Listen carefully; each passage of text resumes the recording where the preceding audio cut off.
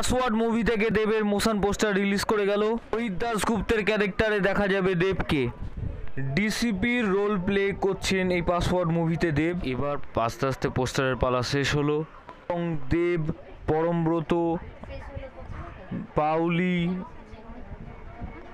এদের পোস্টার পরপর রিলিজ করল এবং পোস্টারের পালা শেষ হলো। আগস্টেই আসতে চলেছে পাসওয়ার্ড মুভির টিজার এবং কি চমক নিয়ে আসছে দেব এই পুজোতে সেটা তো দেখার বিষয়।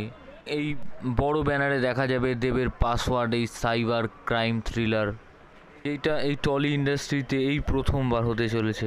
মাতে দেবের বিপরীতে দেখা যাবে পরমব্রতকে একজন সাইবার ক্রিমিনাল হিসাবে।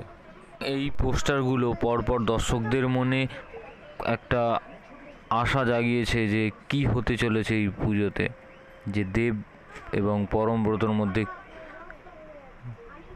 তোমরা তো টিজার দেখার জন্য অপেক্ষা করবেই। তো ভিডিওটা যদি ভালো লেগে থাকে, তোমরা কমেন্ট সেকশানে গিয়ে কমেন্ট করে জানিয়ে দাও এবং সাবস্ক্রাইব করে চ্যানেল পে বাংলা এবং বেলাইকনে ক্লিক করতে ভুলো না। বেলাইকনে ক্লিক